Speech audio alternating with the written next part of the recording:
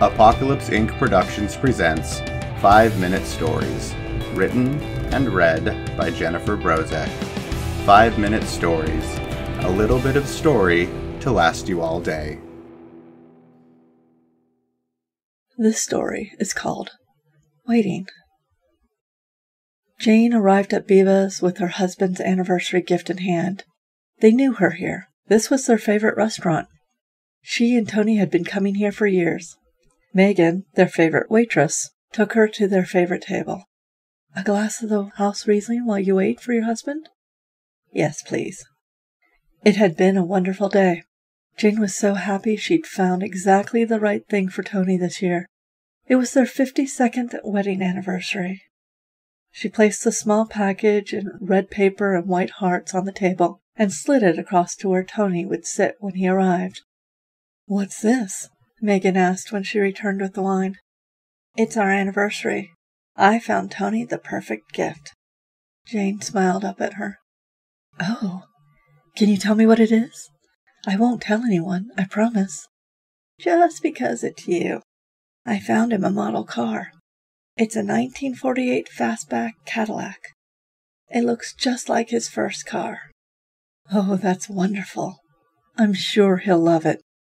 Jane nodded and smiled after the girl as she turned away to attend to other customers. She glanced at her watch and saw that it was five minutes past seven. She wasn't worried. Tony was always late.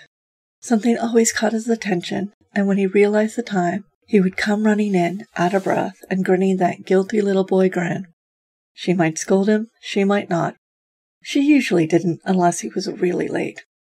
As time passed and her first glass of wine emptied, she became more and more irritated. He wasn't usually this late, especially on their anniversary. Megan refilled her wine glass with a few murmured words designed to soothe, but they didn't. Tony should be here by now. He was going to get such a scolding for being late and scaring her. More time passed, and she pulled out her cell phone.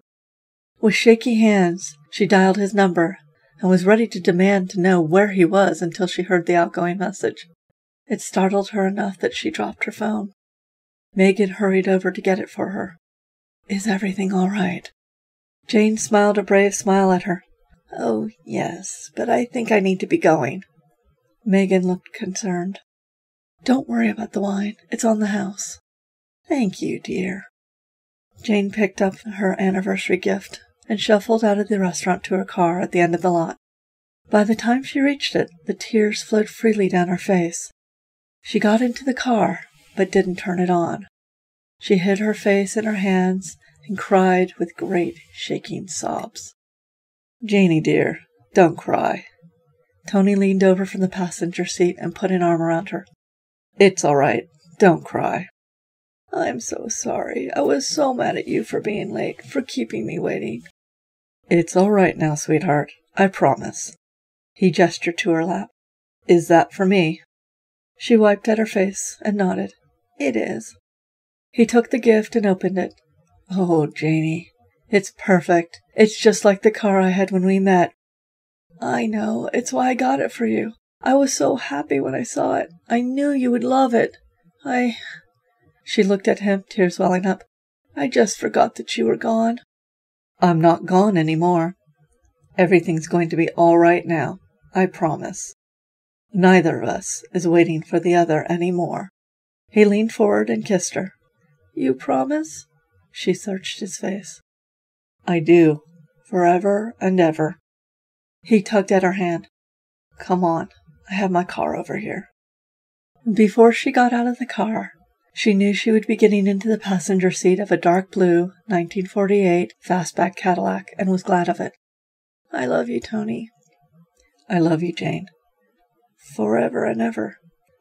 Forever and ever. He smiled a loving smile and opened the Cadillac door. When they found her the next morning, Mrs. Jane Shaw was resting peacefully in the driver's seat of her car with a smile on her face. On the seat next to her was an unwrapped package that had once contained a model car. The wrapping paper and bow were in the footwell of the passenger seat, but the toy car was missing. No one knew what happened to it. It was never found.